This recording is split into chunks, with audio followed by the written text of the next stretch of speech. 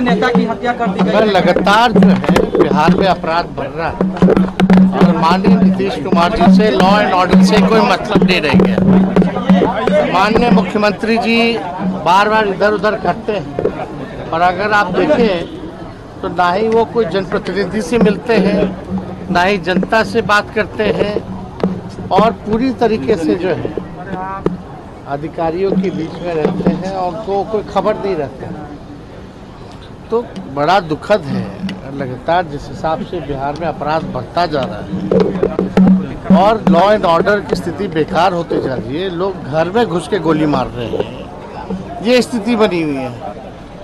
आप देखिएगा कि पहले जो हम लोगों के साथ थे, इनको उस समय अपराधी कहते थे। जब बाहर आए तो मुख्यमंत्री सीएम आवास मुख्यमंत्री से मिलने गए। उनके साथ कितने लोग गए थे जो लोग पुलिस के हत्यारे लोग थे, जो सीएम हाउस घुसे हुए थे? तो ये तो स्थिति बनी हुई है।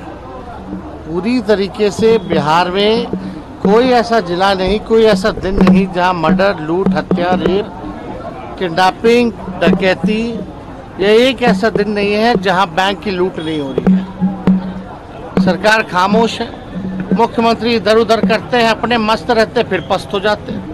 तो कम से कम लैंड हैं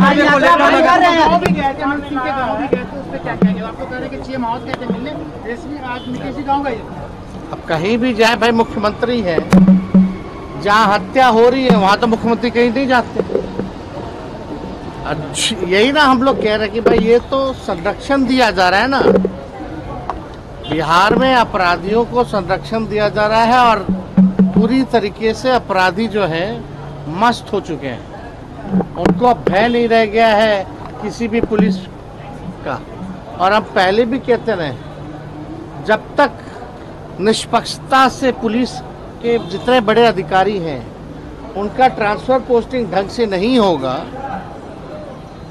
जो काम पे, जो अच्छा काम करते हैं, उनको अच्छी जगह पे नहीं लाइएगा, तब तक यही होगा। बिहार में जो ट्रांसफ़र पोस्टिंग का खेला जो होता है, वो सबको पता है। आपकी आपकी